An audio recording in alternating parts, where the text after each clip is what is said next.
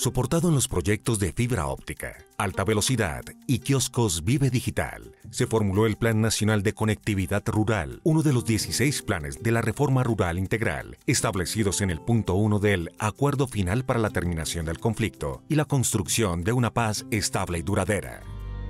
El Plan Nacional de Conectividad Rural tiene como propósito la superación de la pobreza y la desigualdad para alcanzar el bienestar de la población rural y la integración y cierre de la brecha digital entre el campo y la ciudad. Además de este compromiso, el sector de tecnologías de la información y las comunicaciones encuentra bajo su responsabilidad el cumplimiento de otras disposiciones establecidas en los puntos 2 y 6 del Acuerdo de Paz.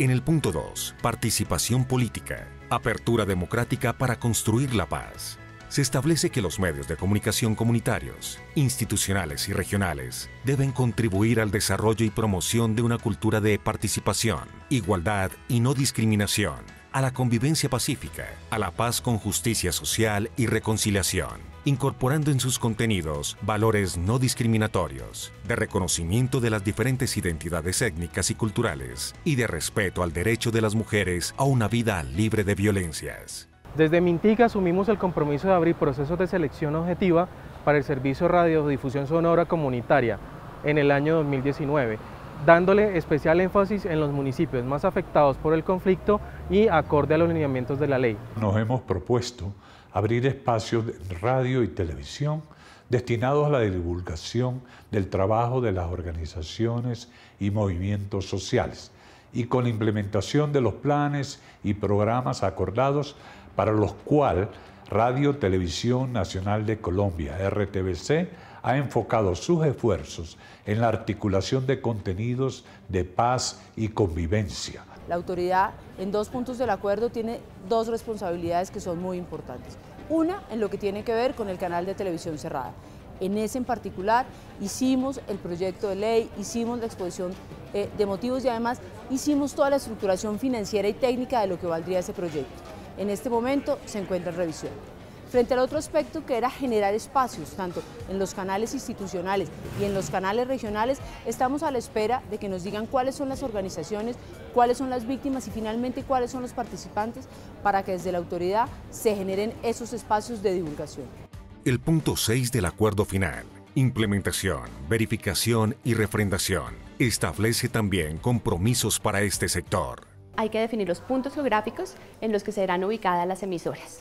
Luego de esto nos da un plazo hasta de 12 meses para que entren en funcionamiento. El Comité de Comunicaciones Conjunto, compuesto por delegados de las FARC-EP en tránsito a la vida civil y del Gobierno Nacional, definirán de común acuerdo los contenidos y la pedagogía y cómo va a ser su producción. Adicionalmente, en el área de la televisión de RTBC, se viene transmitiendo el programa Mimbre, Tejiendo Paz, a través del cual se informa a la ciudadanía sobre los avances en la implementación de los mismos y del cual hace parte el seriado de ficción Pasajeros, como herramienta para hacer pedagogía de los acuerdos de paz. Yo, soy Uberney, Uberney Paz. Peace and Love. Hemos trabajado con el Ministerio de Cultura, con la Autoridad Nacional de Televisión y con Radio Televisión Nacional de Colombia para el diseño e implementación del plan de capacitación técnica para trabajadores comunitarios y en el diseño de un concurso público para la asignación de estímulos para la creación de contenidos de paz. En este ministerio Reconocemos la importancia que reviste para la sociedad recomponer los derechos de la población víctima. Por tal motivo trabajamos de manera articulada con la Unidad para las Víctimas para reparar en gran medida y atender sus necesidades, en cumplimiento de lo dispuesto en la Ley 1448 de 2011, Ley de Víctimas, reglamentada por el Decreto 4800 de 2011. Por ello, desde los kioscos Vive Digital y los puntos Vive Digital, se han fortalecido las competencias de dicha población en materia TI y se ha brindado acceso y conectividad.